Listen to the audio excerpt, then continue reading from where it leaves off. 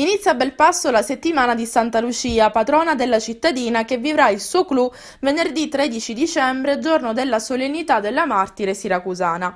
Una festa che come ogni anno Belpasso vivrà con gioia e partecipazione. Un calendario ricco di appuntamenti che si snoderanno per tutta la settimana.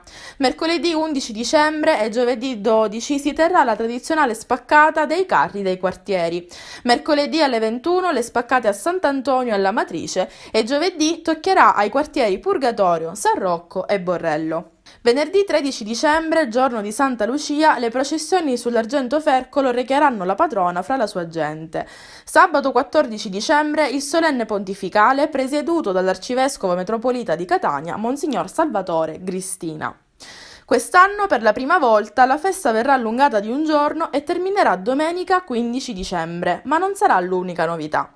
In merito abbiamo intervistato Monsignor Gianni Lanzafame, parroco della Chiesa Madre. Molte sono state le innovazioni della festa a motivo del 350 della distruzione del paese e della ricostruzione duplice, prima Fenice Moncata e poi dopo il terremoto del 1693 l'attuale Belpasso. Il 12 alla processione della reliquia offerta alla cena parteciperanno tre candelore. Perché ci sono le candelore? Non è un ripristino, è un ricordo di quello che c'era nella festa.